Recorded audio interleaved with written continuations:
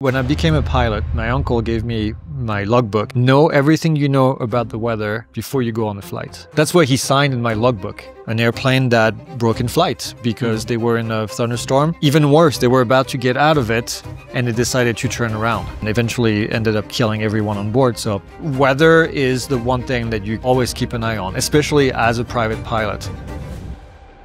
We've kind of talked about the weather, how the weather forms, the hazards that it creates. There's so much more to this, which is where we need to find out how to get the weather information. And that's what we call weather products. If you see an AirMet Tango along the route, what would you do? Coded snapshot of the weather at that time. So where can we find those? Aviationweather.gov. Everybody's favorite website. Terminal aerodrome forecast. 271105. What does that mean?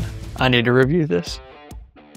And welcome back to another episode of FNG, the Flying New Guy, where we cover the aviation topics that you need to know to become a pilot. And of course, as always, we've got Jason with us, who is going to be talking about the big topic, which is the weather. Now, we started this last episode, we talked about weather theory. And this time we're going to be talking about weather services. So I highly recommend that you go maybe back to the weather episode if you haven't seen that one before you watch this one. Kind of makes sense. But uh, originally, this was going to be all in one episode, but there's so much to discuss about this that uh, we decided to break it into two parts. So, Jason, are you ready? Ready. Let's do it. We've kind of talked about the weather, how the weather forms, the hazards that it creates, but uh, for pilots, there's so much more to this, which is where we need to find out how to get the weather information. And that's what we call weather products. And there's quite a few of them. Can you maybe name one of the obvious one? METAR. METAR, that's right. We're going to get started with the METAR. What's the METAR? It's a coded snapshot of the weather at that time. So actual weather. Yep, it's an observation. It's observation. Yeah. Okay. What do METARs tell us, like in detail? What are the things that are in there? Airport, we get the winds, that's wind direction and intensity and gusts. Yep. We have temperature and dew point, we have ceiling, we have altimeter setting, we Yep. have precipitation if there's precipitation occurring, Visibility. visibility. Visibility also. How often are they issued?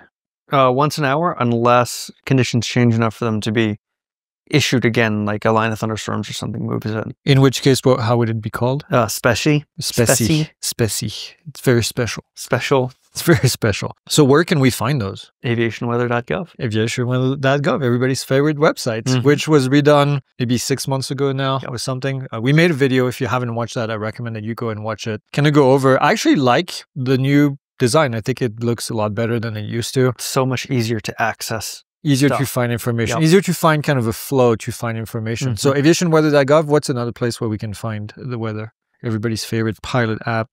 ForeFlight. For flight. That's right, ForeFlight. In this video, we're not going to actually go into the details of how to read a METAR, but you have to learn how to decode all of these things.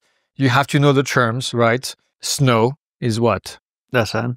SN, what's mist? BR. It's baby rain. It's baby rain. It's mist, brume in French. Uh, smoke is also an interesting one. I don't know that I remember what smoke is, but I think that if I saw it on the METAR that I would say, oh, that's smoke. 8HZ is haze and FU, uh, funnel cloud. no. And that was Oh, oh, being nice, smoke- by the way. Smoke is FU. I'm like, Anyways, yes, smoke for fume, another French word. What's another weather report that's kind of always goes hand in hand with not the TAF. The TAF. Okay, what's the TAF? It is a forecast. What does it stand for? Do you remember? Terminal aerodrome forecast. Terminal Aerodrome Forecast. Okay.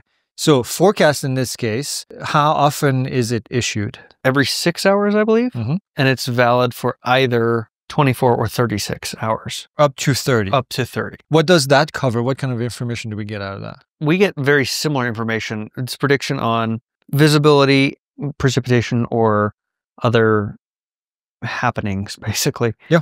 How far does the uh, the METAR and the TAF go as far as distance from the airport? I think it's 10 nautical miles, Five, Five. statute miles. five statute miles. It's a little it's less not as- detailed right, than, yeah. than the METAR, but it's and the format is very much the same. The, Yes. the big difference is what between the METAR and the TAF as far as the format. the METAR only gives you, I mean, it's observations, right? So it's it's one time. Yeah. The TAF has multiple lines, Yeah. which has multiple times. Do you remember kind of the term of how it's divided? When they give you these blocks of hours, they can use different terms. From, right? Yeah. FM. Right. Tempo. There's temporary between this Yes. time and this time. Yeah. There's becoming. Becoming. Okay. So all these kind of have different meaning behind them. So in real life, when would you use one or the other or both? What's the application of, of these two things? If we were getting ready to go to the airport and fly today, I would look up the METAR now and say, what does it look like? Yeah. And I would probably look up the TAF as well if we were going to go like from here to Flagstaff. Yep. Check the TAF here, check the TAF in Flagstaff. Yep. Say, okay, you know, is there going to be something happening? What does the weather look like in Flagstaff now? It's like a weather briefing, which I'm, I assume we'll probably talk about. We'll talk bit, about that as well. Yeah. But it, it's a quick way to determine is this a good idea or not? Mhm, absolutely. And then when you're up in the air on the cross country, I always go to ForeFlight and then I pull up the weather at that airport that's right there that I can mm-hmm. see outside just to see what it looks like. And then at the next airport and the next airport. For example, we're on a very long cross country and I don't have an altimeter setting from a controller that I'm talking to, but I see an airport right here.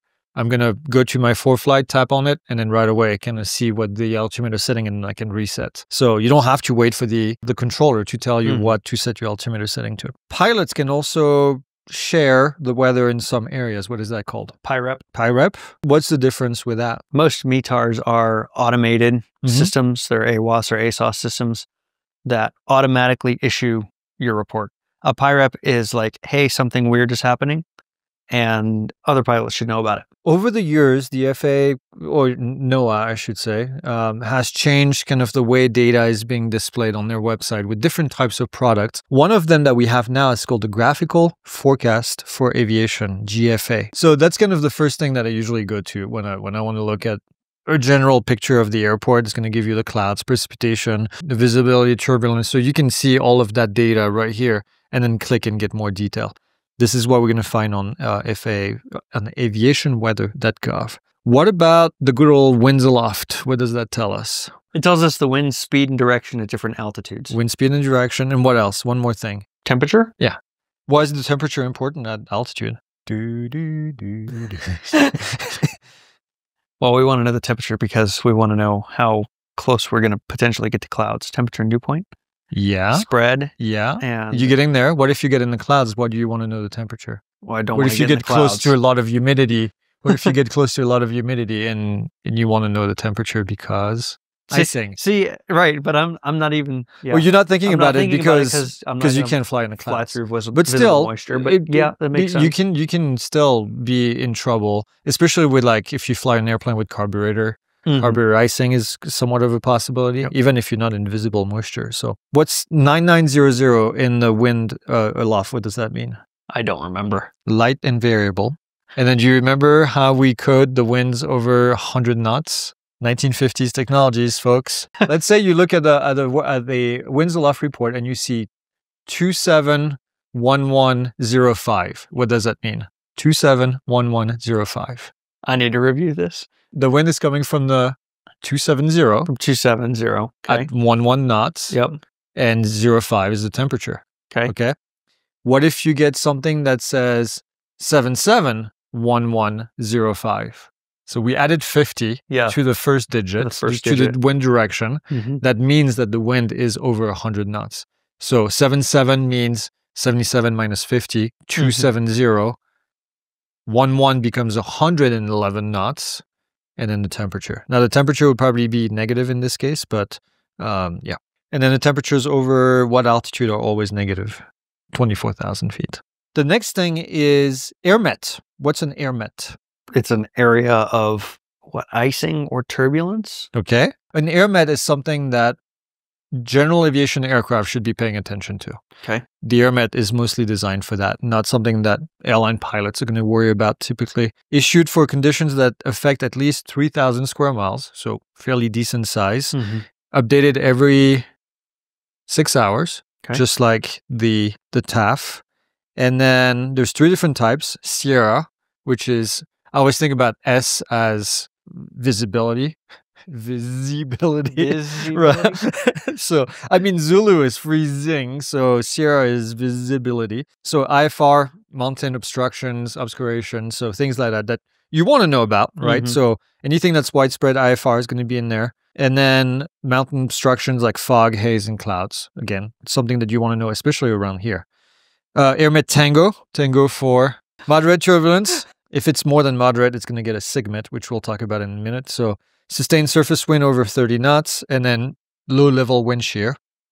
And then Z for Zulu for freezing and icing conditions. So moderate icing. Anything above that is going to get a SIGMET. And then freezing level information. So yeah, AirMet to review. Next is a SIGMET. What's a SIGMET. SIGMET? Significant. Significant weather. Yeah. Definitely want to pay attention. Yes. typically for all pilots that are out there. Uh, there's no real minimum size for the area. This is like something that's important, and that's valid for four hours, but that's issued as necessary. Okay. And then, again, as far as the SIGMET, turbulence, severe turbulence, you want to know, severe icing, and then severe restrictions of visibility. So, dust storm, sandstorm, volcanic ashes, all these things you really want to know. That's going to limit to three statute mile visibility. And then convective SIGMET, which is Thunderstorm. thunderstorms, anything convective, acti- uh, you know, issued every hour, valid for two hours. And then those are for severe or greater turbulence. So you want to pay attention here. Icing, wind shear, that's the stuff that's going to kill you. Convective SIGMET, you're not flying. You Yep. you you stay on the ground. SIGMET, you're flying potentially, but you're avoiding the areas as much as possible. But Mhm. I would recommend not to be in there. But sometimes they're so wide.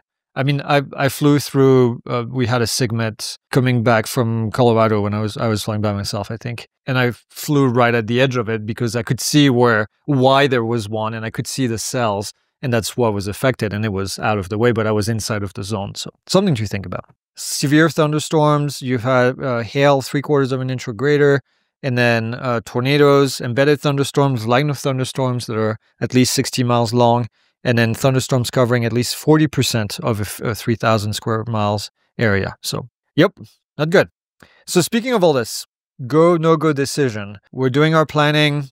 What's the first thing you're going to check? You mentioned METAR and TAF. Yep. And then what else? I mean, turbulence, Turbulence. winds. Yep. AirMet, SIGMET, convective SIGMETs.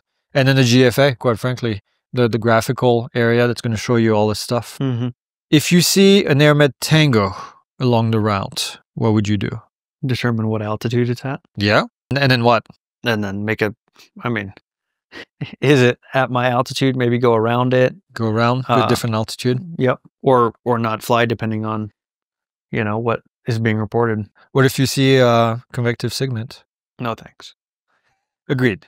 All that information is on the FAA website, right? Mhm. On FAA safety.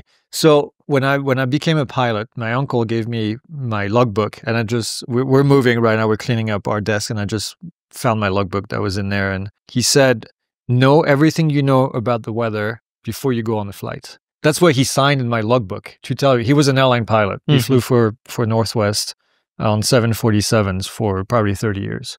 And so his his takeaway from all of this was the weather will kill you. Pay attention to it before you go. So in ForeFlight, there is a way to do a pre-flight briefing. If you're in the course, in the private pilot course, we have a section about planning across country where I'm going to show you how to actually pull out the weather and and and find that information, and then go on aviationweather.gov and get that data. Uh, when you're up in the air, we have the little unit in the back of the Sentry. airplane, the Sentry, Mhm. that is going to provide you weather updates as well. So uh, I would say weather is the one thing that you always keep an eye on, especially as a private pilot, because that's the thing that that's going to kill you if you don't pay attention. You're going to be stuck in a cloud. You're going to have to divert somewhere. We just did our flight uh, back, not me, but Tom was flying the airplane back from Sun and Fun and uh, made the decision to divert mid-flight, right? He Mhm. was going this way, and all of a sudden he went down, went to Tallahassee because there was a line of thunderstorm moving this way. He thought maybe he could clear it, realized that nope, not gonna even try it because it's not worth it. Went down on the ground, waited a couple hours, line of thunderstorm went through, and then he took off again. So that's the right decision. That's like we we talked about decision making, right? The couple episodes ago. That's where you make the right decision. We have these uh, accident case studies that we've done. One of them recently of an airplane that broke in flight because they were in a thunderstorm, and even worse, they were about to get out of it and they decided to turn around. and get back into the storm and then eventually ended up killing everyone on board. So the weather is not something that you mess with. You collect that data, you do your pre-flight. When I plan my cross country, I plan them the night before. I go in ForeFlight, I look at the data. I go in aviation weather, I look at the data. And then if it looks okay, in the morning I do a short brief where I pull the update and I see what the update looks like, and then I make my decision from here. But never be afraid to uh, to cancel the weather and do it. So uh, there's not much more that we can talk about uh, in this, but I, I really wanted to cover on these few things. Know your basic weather reports and then how to read them, and you'll be fine. So, any additional questions on this? I don't think so. I mean, at this rate, you're halfway through being a weatherman. Yep. Except you're accurate. Just kidding. Um, I know you're good at the weather because I know you did a minor in this and, Mm. and you enjoy the weather. So you're an easier student than most. Most people don't like the weather. Um, it's it's complicated, but learn as much as you can about it. You we don't want you to be a meteorologist. That's not the goal. The goal is to understand what the weather is going to be doing in the future and then trying to predict what it's going to look like so you can make the right decision. So, now if you have any weather questions or good weather stories to share, make sure you drop them in the comments. We'd love to hear them. And also, if you want to know more about the weather, uh, of course, we have our Private Pilot Made Easy course available. Thanks for watching, and then we'll see you in the next one.